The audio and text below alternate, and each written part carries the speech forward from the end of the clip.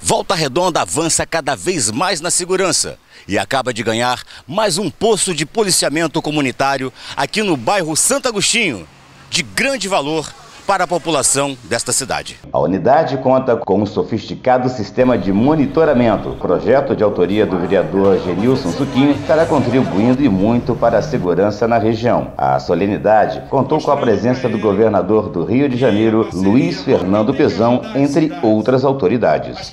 Isso é uma conquista muito importante, não só para os moradores de Santo Agostinho, quanto para os bairros adjacentes. É sempre muito importante a gente ter uma base da Polícia Militar é, em contato direto com a comunidade local, descobrir os seus anseios e prover um policiamento muito mais eficiente. É uma área sensível, né, nós vamos manter policiamento 24 horas com viatura.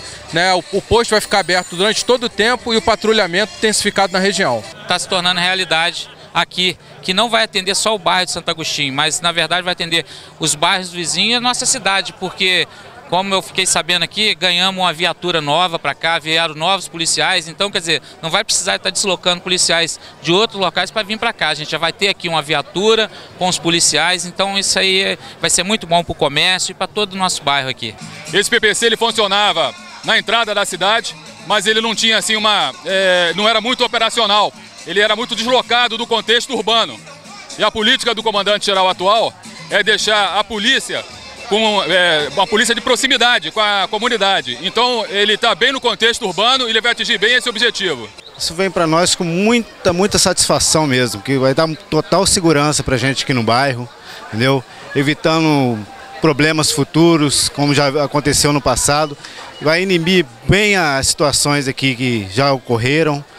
Isso vai ser muito importante, de suma importância mesmo para todo o bairro aqui. Mais uma parceria com o governo do estado, Polícia Militar, Polícia Civil, Guarda Municipal, o CIOSP, né, a RISPA, eu acho que é uma conquista para a cidade de Volta Redonda, para a segurança de Volta Redonda. É mais uma ajuda que fortalece a segurança pública municipal, na medida que monitora um local que possui um índice razoável de criminalidade, que não vai, vai nos possibilitar é, identificar criminosos e também a função ostensiva de evitar que eles continuem praticando delitos. Diversas cidades hoje estão investindo em monitoramento, integração, em guarda municipal, né, auxiliando a polícia militar e a polícia civil. É isso, não tem.